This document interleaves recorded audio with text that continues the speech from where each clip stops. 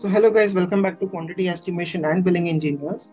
In today's session, we are going to see how we can calculate the BBS of a raft which is of irregular shape. So as you can see in this drawing, we have a raft which is having something irregular shapes with multiple offsets in between. If we can see the reinforcement details of this raft, the details is provided as 10 mm dia with 100 mm center to center at top and bottom and the depth of this raft is of 350 mm. So if we are going to see the reinforcement placement of this raft, this will be somewhat like this. In this way, the x direction reinforcement will be placed and in this way, y direction reinforcement will be placed. So as you can see, the practical difficulty is that the length of each and every reinforcement at each and every section will be different. So we can't go by the traditional method of separating our raft into multiple sections to work out with the BBS. So what we will do is we will use our AutoCAD for calculating the BBS. So the very first involved in this calculation is you have to draft this reinforcement in your raft. So how you can draft this reinforcement is you can click on the I button to see the video we have uploaded on how to draft this reinforcement in your flat slabs or in your raft. So after the drafting of the reinforcement, what you have to do is you have to simply give a command that is known as data extraction. As you can see, data extraction, we will click on this command.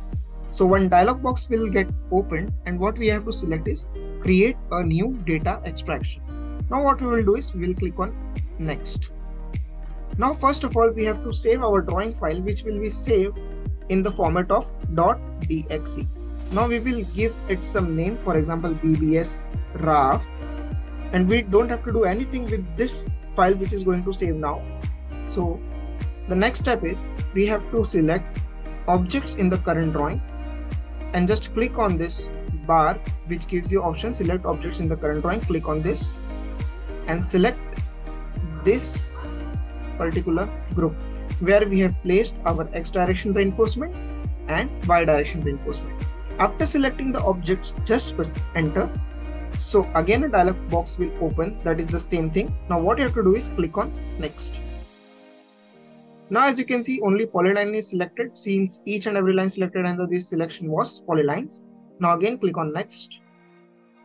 Now we have been provided with multiple properties of these polylines and we have to select the specific properties which are required for the calculation of our BBS. So what we will do is first we will give a right click then we will click on uncheck all. Now everything is deselected. Now what we will do is for calculation of the BBS we require the length of bars. So we will click on length. Then we also require layer of the bars because I have specified X direction and Y direction in my layers. So I will click on this layer. Now we'll hit next. Then it is extracting. Now you can see polyline bottom and top Y direction, bottom and top, top direction. This is something list which is extracted. Now what we will do is we will again click on next. Now we have to uh, select this option output the data to external file. Now click on these three buttons and save your file exactly to a location known to you since you are going to use this file now. So I am saving this currently on my desktop. So I will click on save. Now again hit next and then finish. Now it is going to take some time since data is transferring to our Excel file. So now as you can see, this process has been completed. So we will switch to our Excel working. So here we can see our Excel has been extracted and I will double click on this. Now as you can see, we have four columns. One is count. This count gives you the numbers of bar. So I will rename it as numbers of bar. The second one is name which specifies the type of line whether it is polyline or line. We don't require this so I will just delete it. Now the second one is layers. As you can see bottom and top x direction. So this reinforcement is in x direction. As we will go in the downward direction, we will get top x and top y as well. So what we have to do is how we can use these datas which are extracted.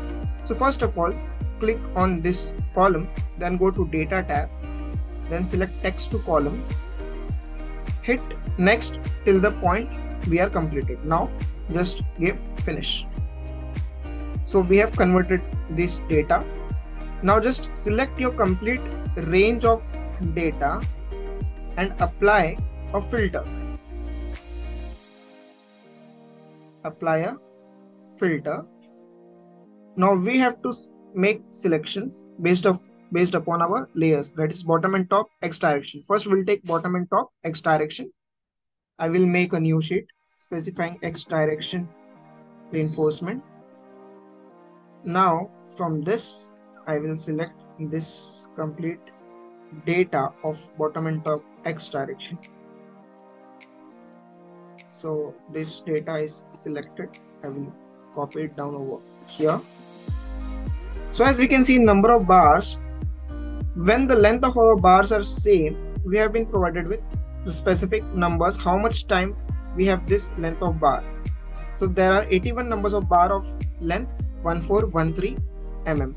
So what how can we calculate the weight of bar from this data is first of all we have to uh, check whether this length is greater than 12 meters or not. If it is greater than 12 meters then we have to add one lap as well.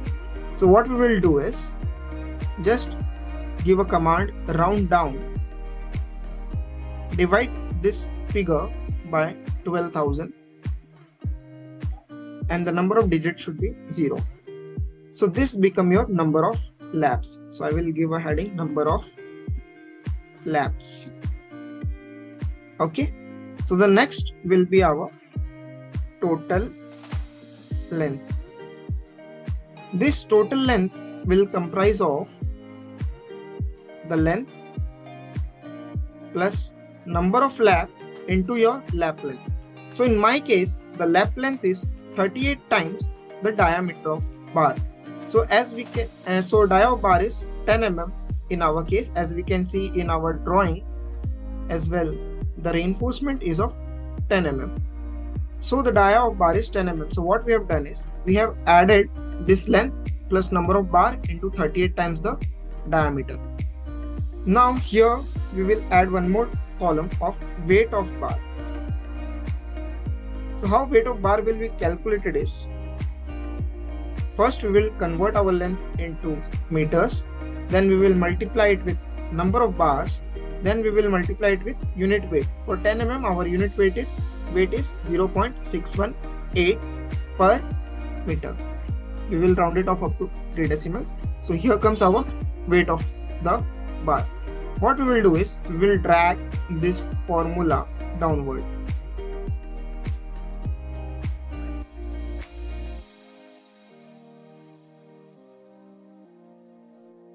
So our weight of bar is ready. Now simply we will add each and every length and give a sum for this. So the total weight of our steel is 4 tons. As we can see we have extracted complete data using AutoCAD itself in this way, we can calculate the BBS of the raft which are of irregular shapes. For your more, more exploration works, you can work this same method for calculating the reinforcement weight of Y direction. Hope so you, like you have liked this video and if you have liked this video, please do like, share and subscribe. Thank you very much.